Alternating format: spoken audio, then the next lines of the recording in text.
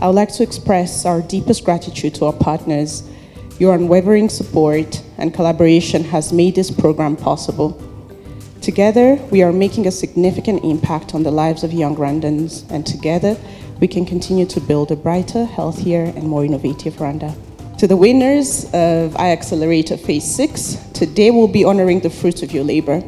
Your passion and achievement have brought you here, but this is just the beginning. Keep pushing forward, continue to innovate, and know that your efforts are contributing to a brighter future for Rwanda.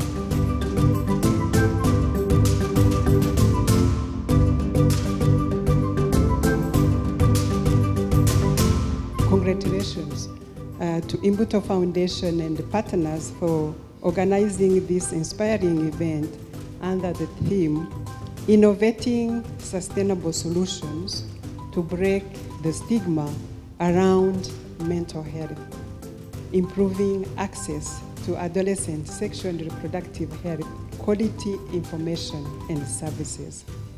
I want to take this opportunity to congratulate also the six best winners of uh, iAccelerator, which are about to be disclosed to us.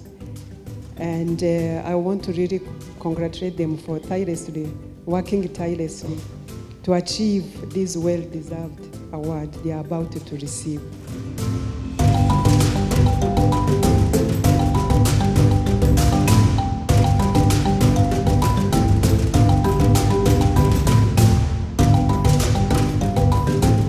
Allow me to extend my heartfelt gratitude to the Imbuto Foundation for being a catalyst for progress for more than 20 years and for believing in our society's ability to rise against all odds.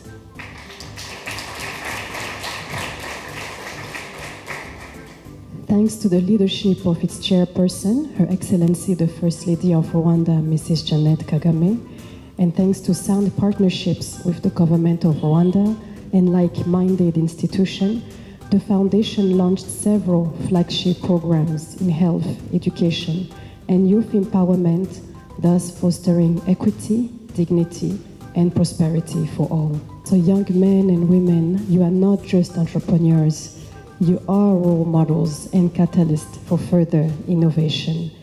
Your work exemplifies the transformative power of youth-led solutions and you set a powerful example for your peers. So please keep going. Ah,